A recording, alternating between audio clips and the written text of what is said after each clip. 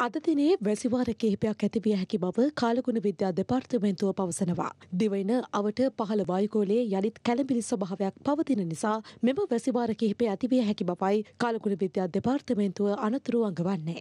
මේ දිනවල තියෙනවා දිවෙන අවට පහළ වායුගෝලයේ කැළඹෙන ස්වභාවයක්. ඊට අමතරව අපි දන්නවා මේ කාලයේ තියෙන්නේ දිවයිනට බලපාන අන්තර්මෝසං කාල පරිච්ඡේදය. මේ කරුණු කීපයේම හේතු කොටගෙන අපරභාගයේ හෝ සන්ධ්‍යා කාලයේ ඇති වෙන වැසිවල වැඩිවීමක් අපි අපේක්ෂා කරනවා.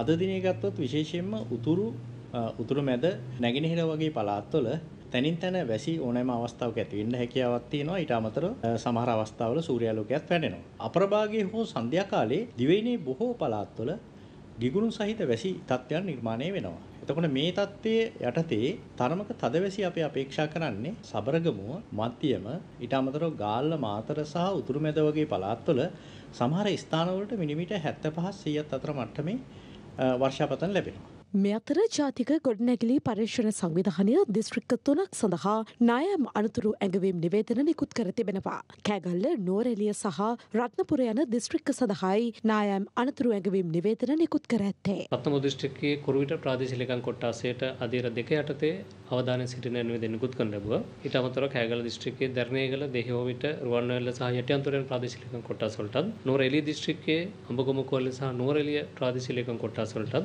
රත්නපුර දිස්ත්‍රික්කයේ දිස්ත්‍රික්කයේ නිවිතිගල කලවාන සහ එළපාතැන් ප්‍රාදේශීය ලේකම් කොට්ටාස වලටත් අධීර එක යටතේ විමසිලිමත් බං සිටින යන විදිහ නිකුත් කරලා ලැබුවා. පාලගුණ විද්‍යා දෙපාර්තමේන්තුවේ අනාවකයට අනුව තව දවස් 4ක් පමණ මේවා තත්ත්වය පවතින බව පවසනවා. ඒ නිසා කඳු ආශ්‍රිතව ජීවත් වන ජනතාවට ජාතික ගොඩනැගිලි පරිසංගය ඉල්ලා සිටින්නේ.